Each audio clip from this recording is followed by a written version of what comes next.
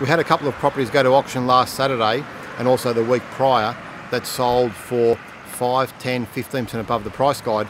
And one property in particular last week that sold was incredible result, sold well, well, well over the price guide. So how does that actually happen? Uh, as agents, when we look at a property and provide an appraisal or a valuer looks at a property, what we look at is bedroom sizes, construction, land size, location, and we look at what's sold comparable to that and we come up with a mathematical number. The one thing that we actually can't put a price on is the emotional value of a property. And what I mean by that is it's about demand supply. It's about scarcity of when's the last time the property sold or when's the last time a property in a particular street sold.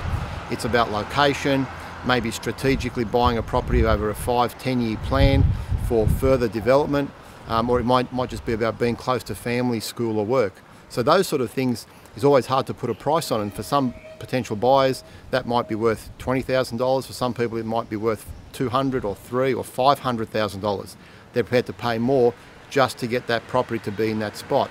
So you have to remember that price guides are based on a mathematical number of what's sold and just the, the general facts of a property, yet the emotional number is very hard to estimate because every single person's situation is going to be different and that's why sometimes at auctions you get results that are well above expectations because no one knows exactly how much that property is worth for a particular purchaser.